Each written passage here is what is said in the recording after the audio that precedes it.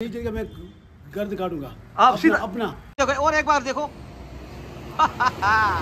अस्सलाम वालेकुम YouTube family तो आज दिखाएँगे आप लोगों को एक बॉडी बिल्डर अच्छा खासा जो बिल्कुल हीरो लग रहा है। तो इसके पास जाएँगे और देखेंगे ये क्या काम कर रहा है। तो, तो देख सकते हैं आप एजाज भाई क्या कर रहा है?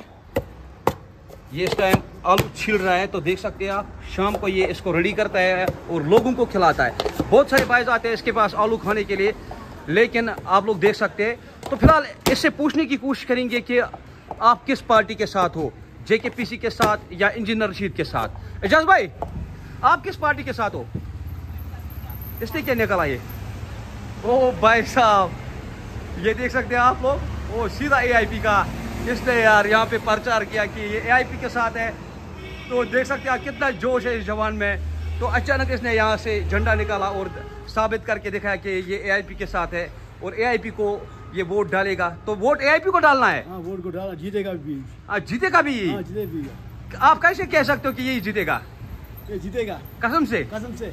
तो देखा आप लोग ने इसको पूरी उम्मीद है अपने एआईपी के ऊपर कि हमारा एआईपी जीतेगा इलेक्शन जीतेगा। ये जीतेगा। तो कोई मुकाबला नहीं है आगे। कोई मुकाबला नहीं ये जीतेगा। अगर ये नहीं जीतेगा मैं गर्द काटूँगा। आप सीधा अपना। अपना गर्दन काटोगे। तो वन साइड गेम है। हाँ। एक ही साइड मुकाबला है।